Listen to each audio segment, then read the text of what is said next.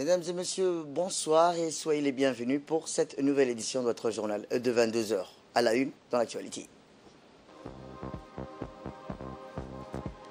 À la une dans l'actualité nationale, le chef de l'État, son Excellence Ismaël Melgré, est arrivé à Manama pour le 33e sommet ordinaire de la Ligue des États arabes qui se tiendra à Bahreïn.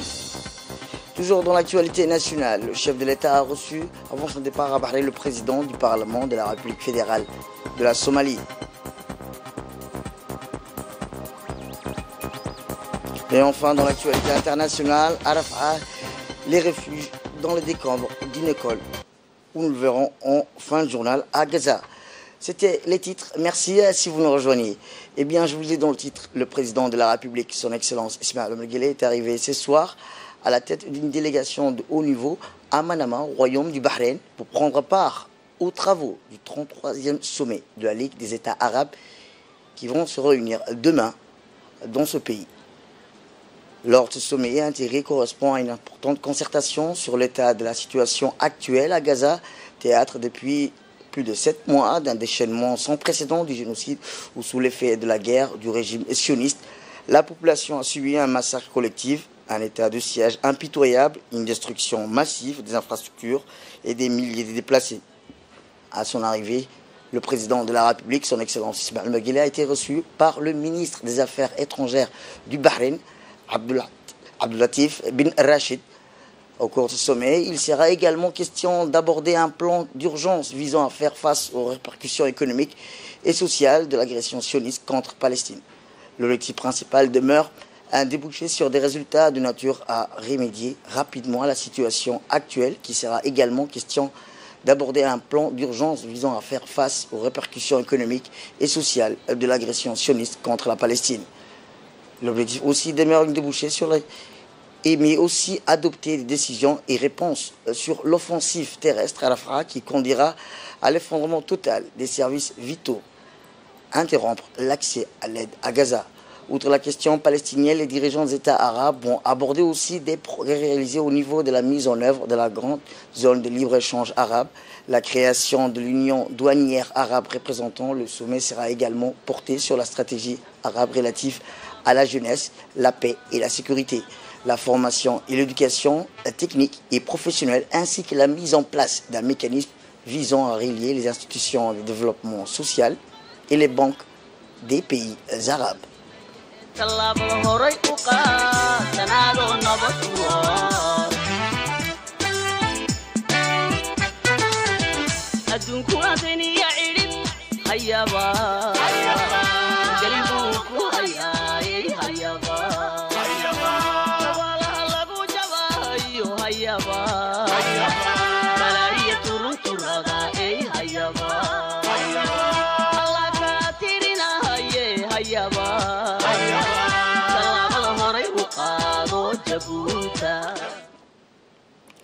On reste toujours à Bahreïn où le ministre des Affaires étrangères et de la coopération internationale, porte-parole officiel du gouvernement, M. Mohamed Al Youssouf, a participé à la réunion ministérielle préparatoire du sommet arabe qui s'est tenue aujourd'hui à Manama, la capitale bahreïnienne.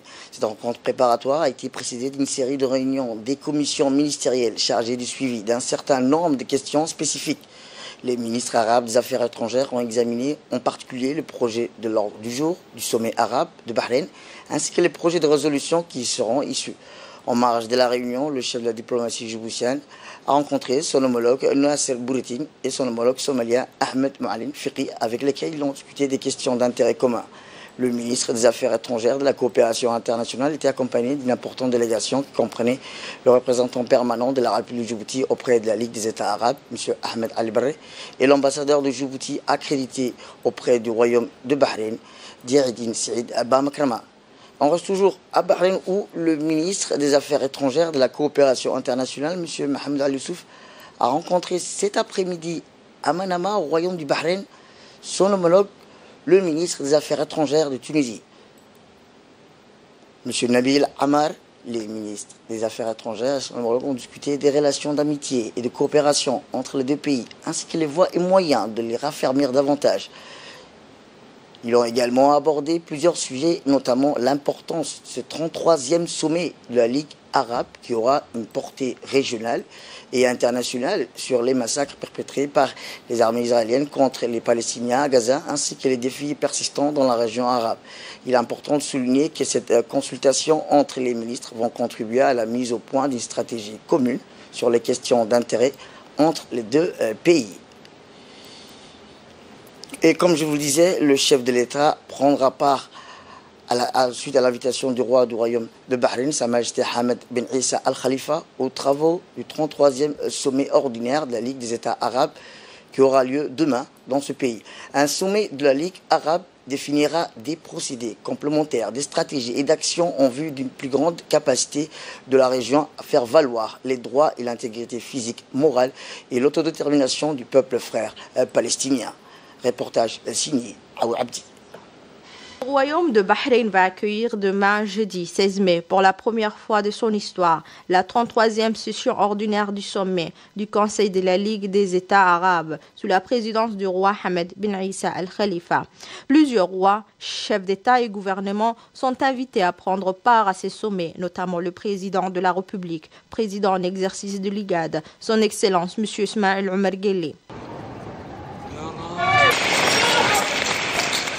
au 234e jour de guerre en Palestine, après plus de sept mois depuis le 7 octobre 2023. Israël mène une guerre dévastatrice dans la bande de Gaza, qui a fait près de 100 000 morts et plus de 74 000 blessés.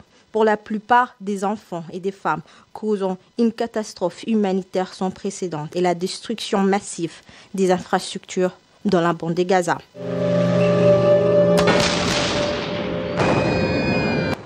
Depuis l'annonce d'Israël, sa détermination à mener une guerre terrestre à Rafah, une ville surpeuplée par plus d'un million de déplacés qui ont trouvé refuge dans cette ville à l'extrême sud de la bande de Gaza.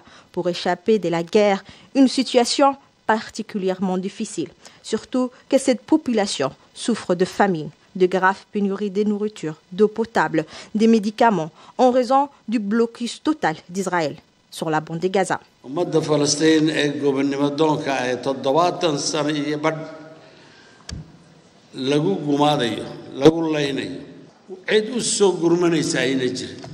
Le président de la République, son Excellence M. Ismail Omar demeure depuis toujours au sein de toutes les instances internationales une figure, mais aussi un exemple d'un leader qui a exprimé son insistance et son soutien continu au peuple frère dans sa quête légitime et son droit à disposer sa terre et la création de son État.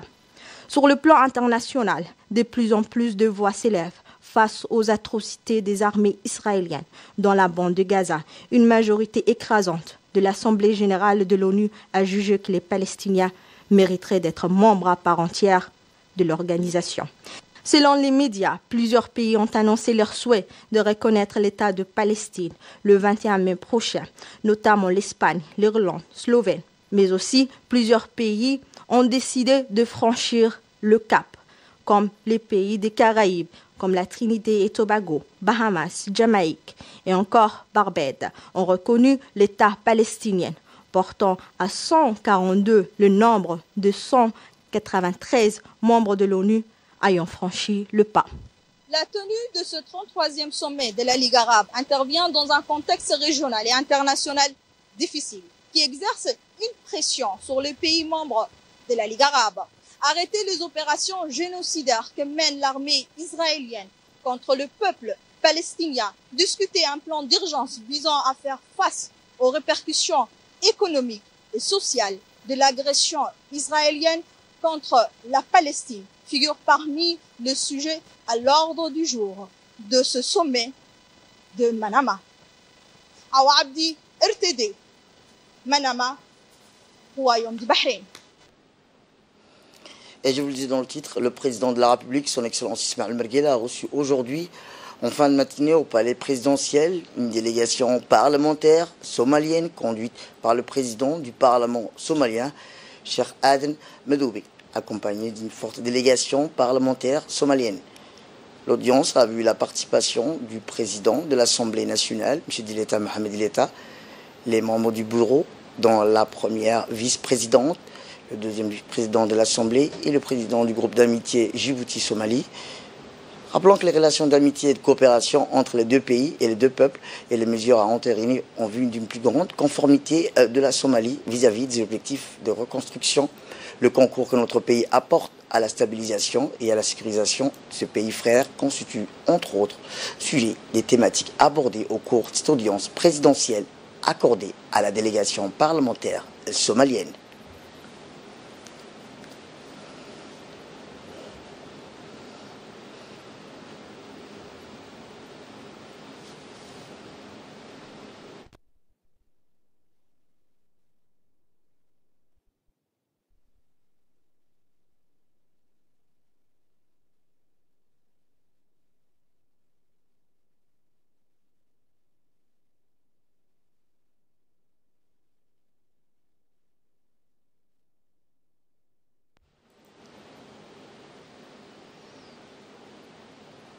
Eh bien, dans une réaction accordée à la radio-télévision de Djibouti, le président du Parlement somalien, Cher Aden Medowe, a indiqué que sur invitation de son homologue djiboutien, une importante délégation des parlementaires somaliens séjourne à Djibouti pour tisser davantage les liens de coopération entre les deux parlements, les deux peuples. Cette rencontre, a-t-il indiqué, le président du Parlement fédéral de la Somalie, avec le président de la République, nous a permis de discuter davantage ces liens de coopération entre les deux nations, sœurs, a affirmé le président du Parlement fédéral de la Somalie. Eh bien, comme je vous le disais, cette visite vise à renforcer les relations bilatérales existantes entre les deux pays frères et amis, notamment entre les deux parlements. Écoutons à présent le président de l'Assemblée nationale, M. Dileta, Mohamed Dileta.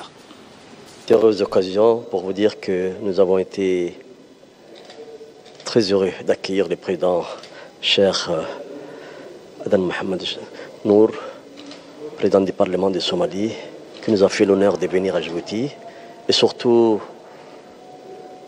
par les relations fraternelles, la même langue, la même religion, la même culture. Tout ceci nous fait que renforcer. Et l'histoire qui lie les deux pays, Djibouti et la Somalie, c'est quelque chose qui va encore de l'avant. Aujourd'hui, au niveau du Parlement aussi, nous allons faire en sorte qu'avec mon frère, nous puissions développer davantage les relations entre les parlements djiboutiens et les parlements somaliens. Et cela aussi va aider le renforcement de nos deux peuples, Inch'Allah. Eh bien, comme je vous le disais, sur invitation de son Excellence, M. Dileta Mohamed Dileta, le président de l'Assemblée nationale de Djibouti, l'honorable Cheikh Aden Mohamed Nour Medoube, président du Parlement somalien, effectue une visite à Djibouti du 15 jusqu'au 18 mai prochain.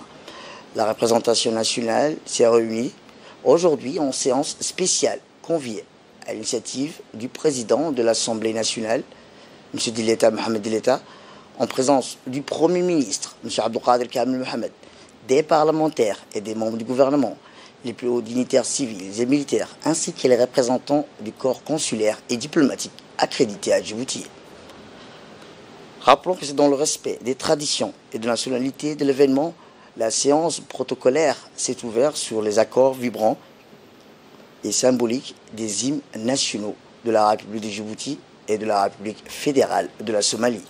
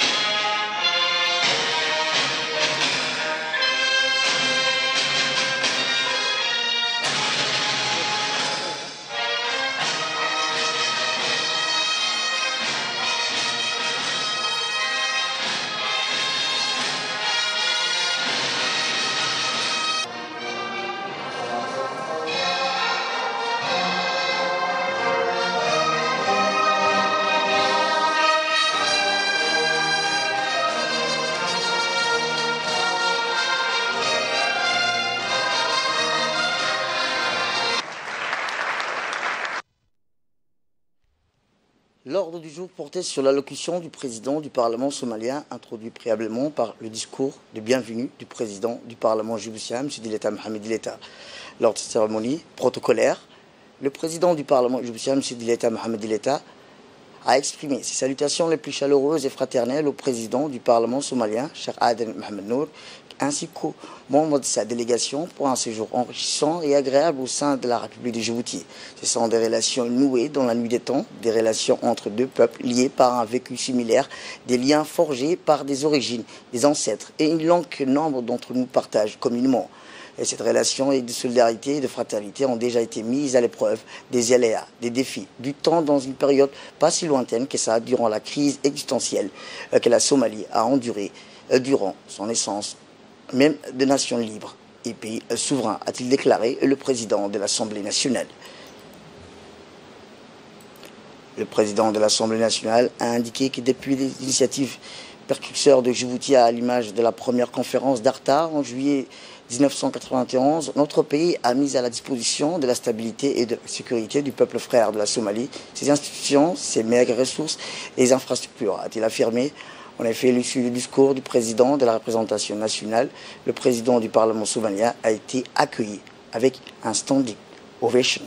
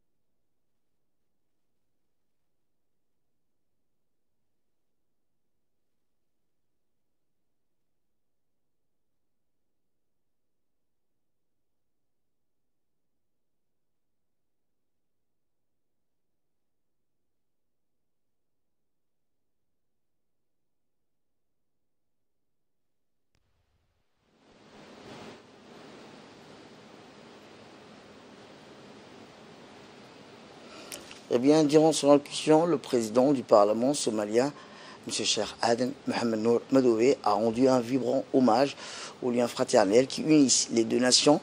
Il a exprimé au nom du Parlement fédéral de la Somalie et de l'ensemble du peuple somalien des remerciements au président de l'Assemblée nationale, M. Dileta Mohamed Dileta, et aux députés pour l'accueil chaleureux réservé à la délégation euh, somalienne.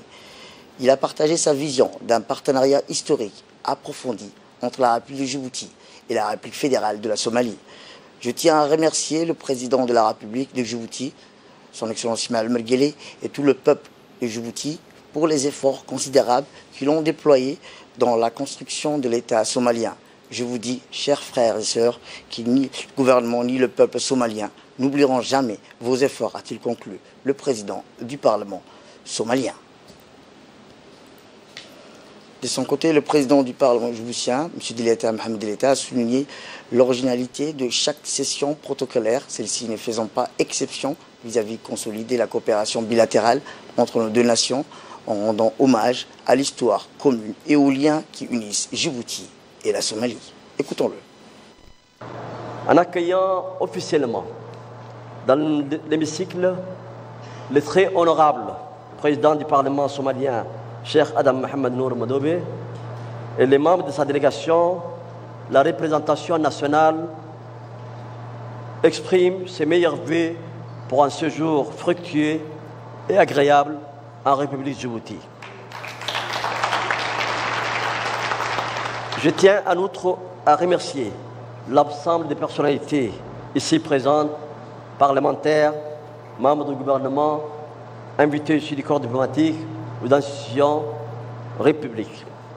Très honorable Président, pour notre institution, chaque séance solennelle et protocolaire a ses particularités. Celle de cette matinée ne déroge aucunement à la règle puisqu'il s'agit, par votre participation, de renforcer la coopération entre les deux pays en rendant hommage des primes abord au moment des fraternité et de solidarité de bouteaux somaliens. Comme nous le savons, les liens entre Djibouti et la Somalie sont uniques et profonds. Ce sont des relations nouées dans les nuits des temps, des relations entre deux peuples liés par un vécu similaire, des liens forgés par des origines, des ancêtres, une langue que nombre d'entre vous partagent communément. Et cette, et cette relation de solidarité et de fraternité ont déjà, été mises à l'épreuve dans les aléas du temps, dans une période pas si lointaine que ça, durant la crise extensionnelle que la Somalie a dû endurer dans son existence même d'une nation libre et souverain, pays souverain. Excellence, Monsieur le Président et chers frères, dès le début de la stratégie des années 90 à nos jours, le peuple djiboutien a toujours été profondément et particulièrement touché par les épreuves traversées par leurs frères somaliens et depuis les initiatives précurseurs de, Djibouti, à l'image de la première conférence d'Arta en juillet 1991, notre pays a mis à la disposition de la stabilité et de la sécurité des peuples frères de Somalie des institutions, ses maigres ressources et infrastructures.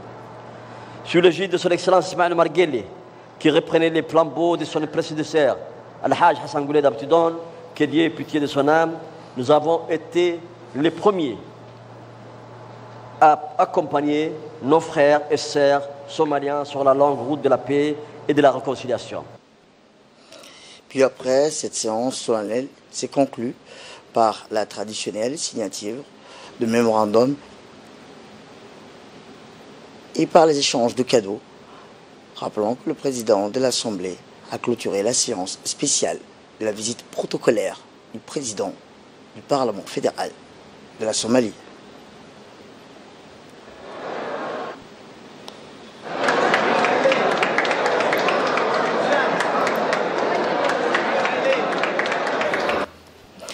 Autre actualité dans ce 22 heures, c'est aussi l'inspecteur général d'État de la République de Djibouti et secrétaire exécutif du Forum des inspections générales d'État d'Afrique, M. Hassan Issa Sultan, a signé deux protocoles d'accord avec le vice-président d'intégrité de la Banque mondiale, M. Mohamedou Diagne, ce mardi 14 mai, dans une cérémonie par visioconférence.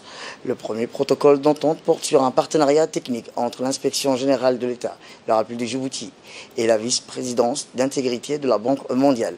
Le second protocole organise un partenariat similaire avec le Forum des inspections générales d'État, Fédération continentale des organismes d'inspection. La vice-présidence d'intégrité de la Banque mondiale est un organe indépendant chargé des activités d'enquête sur les allégations de fraude, de corruption et autres activités illégales concernant les projets et activités financés par le groupe de la Banque mondiale, ses fournisseurs et son personnel, ainsi qu'à la gestion des risques et la mise en œuvre des pratiques optimales en matière de prévention et de la fraude et de la corruption.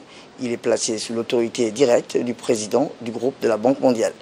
Les protocoles conclus par l'IGE les Djibouti et le FIJ mettent en place une plateforme de collaboration étroite destinée à la prévention et la lutte contre la corruption et les fraudes dans les projets de développement financés par la Banque mondiale.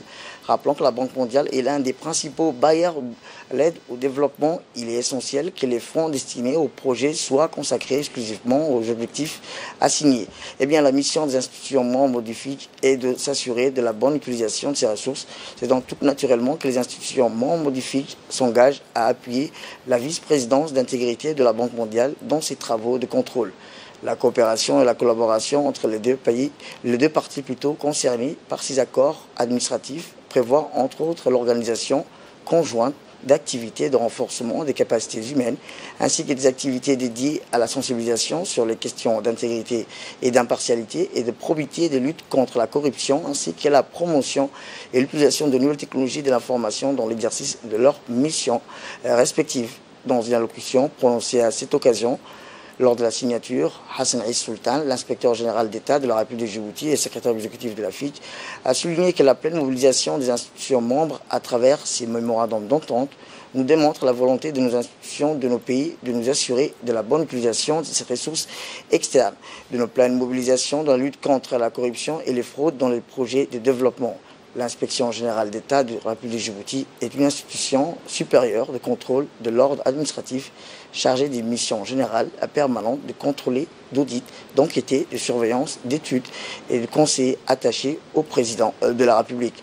Les forums des inspections générales d'État et d'institutions assimilées est une organisation panafricaine dont le siège est installé à Djibouti et compte actuellement 27 institutions. Autre actualité nationale, eh bien, je vous le disais il y a quelques instants, le Centre de leadership et de l'entrepreneuriat a accueilli ce matin un atelier de présentation dédié à la révélation d'un rapport exhaustif sur l'état florissant de l'économie numérique à Djibouti. C'est sous les feux des projecteurs que ces rapports scrutés avec finesse les défis, les atouts qui façonnent le paysage numérique djiboutien, mettant en lumière l'impérieuse nécessité de développer les infrastructures digitales, d'abaisser les barrières d'accès au débit à un coût raisonnable, ainsi que de cultiver les compétences digitales vitales pour le développement socio-économique. Dans une analyse minutieuse, ce document de référence a mis en exergue l'impératif de renforcement des fondements de l'économie numérique, notamment à travers le développement des infrastructures de la télécommunication et des données, l'émergence des plateformes numériques robustes, la promotion des services euh, financiers digitaux et le soutien indéfectible à l'entrepreneuriat. Toutefois, il n'y a pas manqué de dresser un état des lieux précis, accompagné des recommandations stratégiques dans chacun de ces domaines. En effet, si Djibouti a franchi des jalons significatifs dans le domaine numérique, il est clair que le pays n'a pas encore exploité pleinement son potentiel technologique.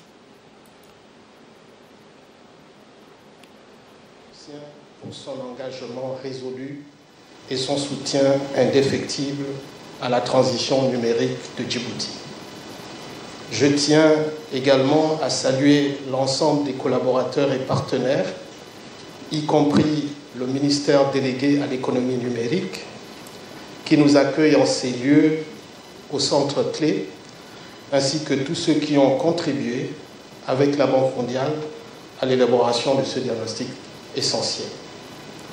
Un remerciement spécial est dû aux, aux panélistes qui enrichiront la troisième partie de notre événement et à mes collègues de la Banque mondiale, en tête desquels Madame Audrey Harris ici présente, pour leur travail acharné.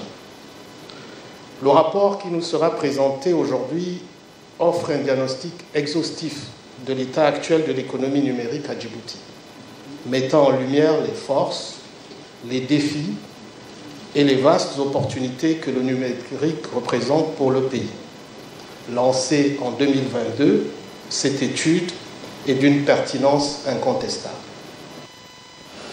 De son côté, la ministre a annoncé la finalisation du projet de loi Startup Act et le lancement d'un programme inédit d'incubation et d'accélération pour les startups avec un appui technique et financier conséquent, encourageant les porteurs de projets à prendre part au programme. Écoutons-la. C'est avec une grande fierté et un immense plaisir je tiens devant vous aujourd'hui pour l'ouverture de cette restitution, le diagnostic d'IFOR dit. Bonjour. Comme vous le savez, ce diagnostic a été lancé euh, en janvier 2022 euh, et a pour objectif d'évaluer la maturité numérique de notre pays et d'identifier les domaines prioritaires pour accélérer notre développement numérique. Durant des années intenses, nous avons collaboré étroitement avec la Banque mondiale et l'ensemble des acteurs nationaux pour mener à bien ces diagnostics. Je tiens à remercier chaleureusement la Banque mondiale pour son soutien précieux et son expertise tout au long de ce processus. Je remercie également l'ensemble des parties prenantes. Euh, la FI n'est pas là, il y a la, le ministère de la Communication, la Banque centrale. Nous avons aussi consulté le secteur privé et euh, les différentes euh, sociétés qui sont euh, les ONG, de la société civile. Les résultats, vous verrez dans le document, est à la fois encourageant et stimulant. Les diagnostics confirment, d'une part, que Djibouti a réalisé des progrès significatifs en matière de développement numérique ces dernières années. Et d'autre part, le document a mis en œuvre et surtout confirmé le, différent cadre réglementaire favorable à l'investissement dans le numérique et le code numérique en cours d'approbation par le Parlement. Par ailleurs, les diagnostics met également en lumière des domaines dans lesquels nous devons progresser. Il s'agit notamment de renforcer l'utilisation des technologies numériques par les entreprises, de développer les compétences numériques et promouvoir l'entrepreneuriat et l'innovation. Pour sa part, le ministre de l'Éducation nationale, de la formation professionnelle, a captivé l'audience en retraçant l'évolution passionnante du numérique dans le domaine de l'éducation. Il a peint un tableau vivant des débuts modestes de cette révolution, soulignant comment chaque pas en avant a ouvert des nouvelles portes. Écoutons-le. Nous avons commencé à, vraiment utiliser le, numérique euh, dans le département de l'éducation et ça a commencé déjà en 2014 euh, par euh, cette initiative du président de la République, qui était bien sûr un élève, une tablette. Tout est, parti de là où une forte volonté politique d'introduire le numérique, et donc ce n'est pas le numérique pour le numérique, l'utilisation des tablettes ou des outils informatiques, mais vraiment de l'insérer et de l'impliquer complètement comme élément faisant partie des enseignements apprentissages. Donc nous avons à partir de 2017, mis en place euh, une, euh, toute une politique d'introduction du numérique dans les enseignements apprentissages pour que euh, cet outil serve d'accélérateur en matière, bien sûr, de la recherche de la qualité des enseignements apprentissages.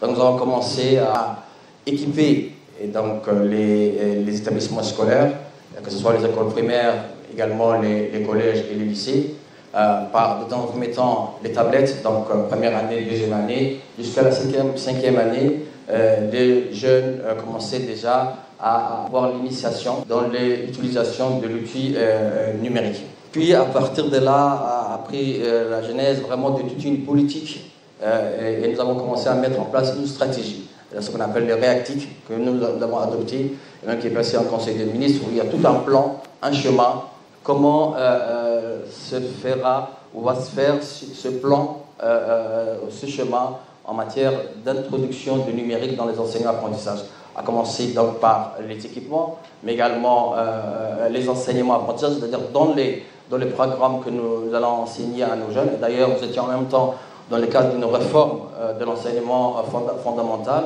Dans le cadre de cette réforme de l'enseignement fondamental, de la première année à la neuvième année, nous avons commencé à initier les, jeunes euh, écoliers, bien sûr au codage, euh, tout en s'amusant à utiliser le, numérique dans les écoles primaires.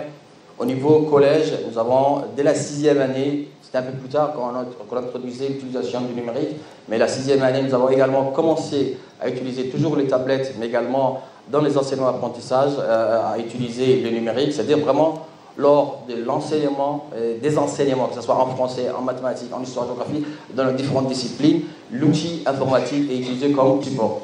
Donc cela pousse l'enseignant également à se former, à aller dans l'innovation, aller dans, la recherche. Mais également, euh, euh, nous, tendons, par rapport à cette réforme de l'enseignement fondamental, le, manuel, qui était un manuel imprimé, et va passer très prochainement en numérique. Donc, Inch'Allah, dans les années à venir, le manuel scolaire sera un manuel numérique, codé, sécurisé, tout ce qui va, bien sûr, avec lui.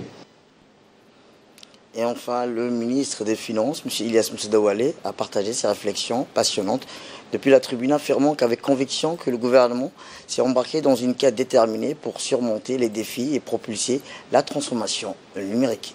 Écoutons-le. Djibouti a, et c'est connu, a un potentiel extraordinaire en termes d'économie numérique. Au jour d'aujourd'hui, on a tendance à parler même d'autre chose que du digital. Dans toutes les conférences, dans tous les grands sommets, personnellement j'y participe ou je suis, on est en train de parler beaucoup de la révolution de l'intelligence artificielle. Et ça va au-delà maintenant de des perspectives de technologies nouvelles et du digital en soi. Et donc, dans ce secteur, ça fait partie hein, de nos contradictions heureuses, mais également de nos propres contradictions par moments malheureuses. Nous disposons des capacités énormes et nous ne profitons pas comme nous devrions profiter. Nous sommes en train de fournir beaucoup de capacités à toute la région, au-delà de la région, et nous avons très peu à Djibouti. Donc, notre réflexion, au-delà de ce diagnostic, va porter sur sommes-nous capables de faire cette transition d'un hub de télécommunication vers un hub d'innovation de, digital Sommes-nous capables de faire cette transition d'un hub portuaire vers un hub maritime? C'est différent. Hein. Sommes-nous capables de faire d'un hub de transshipment ou de transbordement maritime vers un hub de transbordement mer-air ou air-mer comme vous voulez? Et donc, pour cela, et tous ces secteurs, pour, passer, pour faire cette transition, ont besoin d'une base solide du digital. Mais comment travailler ensemble entre différents départements qui sont directement concernés, le frontline line ministries et le reste? La Banque centrale dans cette transformation digitale parce que sans paiement, sans modernisation de notre système de paiement, il n'y aura pas d'économie numérique, il n'y aura pas d'entreprise numérique, il n'y aura pas d'opportunité pour tous ces jeunes qui ont des capacités exceptionnelles pour créer des opportunités, créer des richesses et créer des emplois. Créer d'abord des emplois pour eux-mêmes. Et c'est la priorité numéro un ici à Djibouti. C'est comment créer des opportunités pour nos jeunes qui sont de plus en plus nombreux et de plus en plus diplômés. Comment les outiller pour demain? Je vous emmène en Europe, plus précisément aux Pays-Bas, où au deuxième jour de sa mission de travail à Rotterdam, aux Pays-Bas, le ministre de l'Énergie chargé des ressources naturelles, M. Yonis Aleghedi, a participé hier au Forum africain sur l'hydrogène organisé cette année sous le thème des opportunités commerciales qui font progresser l'industrie de l'hydrogène en Afrique. Dans une allocution prononcée à cette occasion, le ministre Younes Al-Ghedi, après avoir rappelé le havre de paix qu'est notre pays, sa position géostratégique et la diplomatie au service de la paix et du développement mis en place dans la région est-africaine par le président de la République, son Excellence Ismaël Mguele, président en exercice de l'IGAD, a partagé ensuite avec l'assistance la stratégie de développement d'hydrogène vert dans notre pays mené sous son leadership. Situé dans la corne d'Afrique, mon pays jouit des conditions naturelles idéales avec une abondance de soleil, des vents et des chaleurs souterraines. Toutes ces ressources d'énergie renouvelable sont autant d'éléments déterminants pour produire de l'hydrogène vert et à des coûts compétitifs a-t-il indiqué le ministre de l'Énergie lors du deuxième jour de euh, forum. Retour à Djibouti où le deuxième jour du forum de Djibouti organisé par le Fonds souverain a débuté tôt dans la matinée d'hier avec cette fois-ci des thématiques variées axées sur les études relatives aux opportunités portuaires et le domaine agroalimentaire du pays. Rappelons que les staffs de Djibouti multipropose port avec sa tête le numéro 1, PDSA et DMP ont été effectivement présents afin de mettre en spotlight sur les retombées économiques résultant des activités portuaires, mais aussi souligner le rôle central que joue notre par sa position géographique en Afrique de l'Est. Il convient de noter que la journée s'est ouverte avec la conférence présidée par le directeur général du PDSA, DMP. L'événement est une occasion pour les investisseurs, les PDG réunis, de discuter d'emblée sur les voies et moyens de travailler en synergie pour le développement socio-économique plus sûr. Le directeur général du PDSA, DMP, a dans son présentation expliqué l'efficacité de la contribution du port logistique pour un élan commercial plus prometteur. Il a rappelé l'autonomisation et le renforcement des capacités se trouve au cœur de la vision nationale une commerce transfrontalière 100% plus sûr, plus rapide et moins cher s'y opère à Djibouti, car la République de Djibouti est reconnue pour sa stabilité dans la Corne d'Afrique, a-t-il poursuivi. Écoutons à présent ces quelques réactions recueillies par notre équipe. Son Excellence, euh, Monsieur le Président de la République, le Hajj Ismail Omar euh, donc c'est un bâtisseur c'est un doer, c'est un faiseur. Il fait, il bâtit des choses. Et donc le pays, c'est des, piliers. Donc le pilier euh, infrastructure portuaire euh, reconnu mondialement aujourd'hui. Et l'objectif de ce, forum-là, c'est de bâtir au-delà des ports, qu'est-ce qu'on peut faire, qu'est-ce qu'on peut faire pour Djibouti pour diversifier l'économie dans la lignée de la vision 2035. On a une vision, on a un chef d'État qui a mis une vision sur 2035, vision 2035. Ben, c'est à nous tous, hein, les, hauts cadres hein, et euh, tous les Djiboutiennes et Djiboutiens, de mettre la main dans la main. L'union fait la force pour réaliser le maximum d'objectifs euh, de la vision 2035.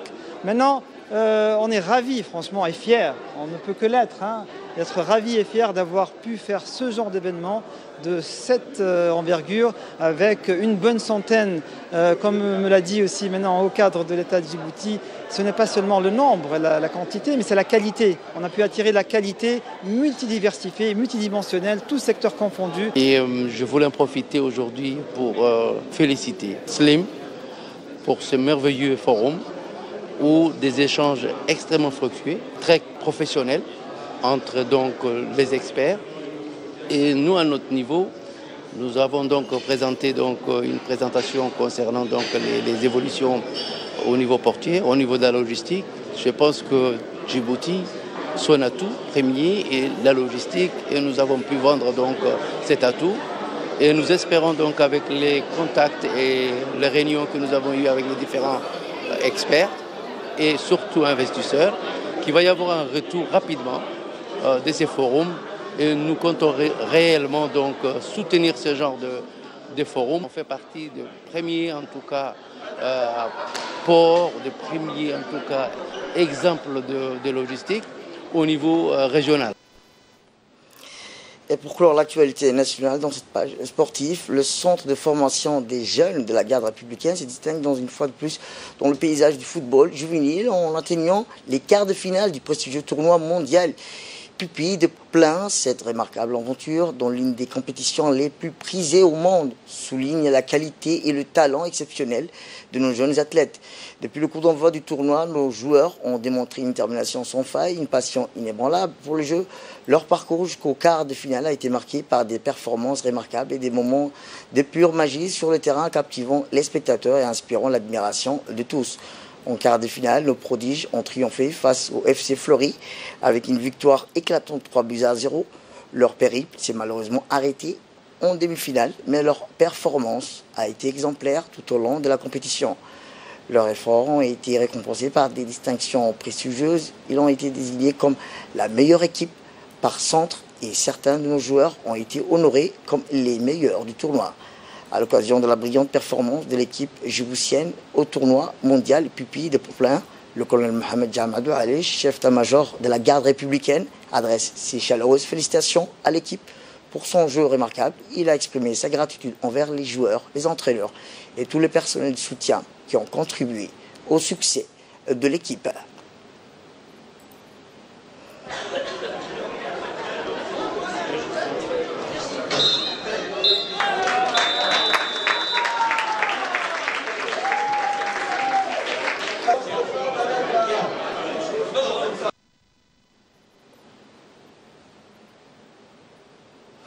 Dans l'actualité internationale, je vous dis dans le titre, un groupe de déplacés a trouvé refuge dans une école gérée par une agence de l'ONU, gravement endommagée lors du récent conflit entre Israël et la résistance du Hamas, et a entrepris des réparations pour restaurer certaines des salles de classe où ils vivent désormais situées dans la ville méridionale de Khan Yunis. Cette école, autrefois administrée par l'agence de l'ONU pour les réfugiés palestiniens, a subi des dommages lors des bombardements israéliens. Dans la bande de Gaza, les familles déplacées de la ville méridionale de Rafah, le long de la frontière avec l'Égypte, ont nettoyé et réparé certaines des salles de classe endommagées avant de s'installer euh, dans euh, l'école. C'est tout pour cette édition. Merci à vous de nous avoir suivis. Restez avec nous pour la suite de nos programmes télévisés. Le programme continue euh, sur Télé.